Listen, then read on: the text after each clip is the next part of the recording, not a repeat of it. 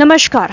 स्वागत है आपका इंडिया न्यूज़ 28 में। आइए बात करते हैं उत्तर प्रदेश की कुछ खास खबरों की। कानपुर 28 दिनों से लापता बच्चे का अभी तक नहीं मिला सुराग। पनकी थाना क्षेत्र की घटना।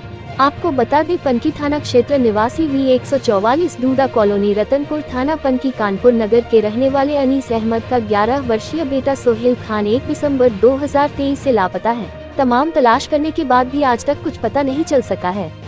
पीड़ित अनीस अहमद ने थाना पनकी पुलिस को तहरीर देकर रिपोर्ट दर्ज करने की मांग की जिस पर पुलिस ने मुकदमा अपराध संख्या चार सौ बानवे धारा तीन सौ तिरसठ आई में दर्ज किया परंतु रिपोर्ट दर्ज होने के बाद भी अभी तक कोई कार्रवाई नहीं हुई है।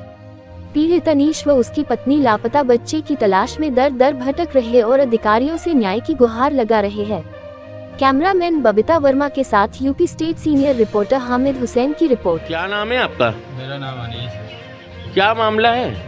मेरा बच्चा एक तारीख से गुम हो गया अभी तक कोई सूचना नहीं मिली। पुलिस में एफ़ आई आर किया उन्होंने मुकदमा लिखा और इसके बाद में अभी तक बरामद नहीं कर पाया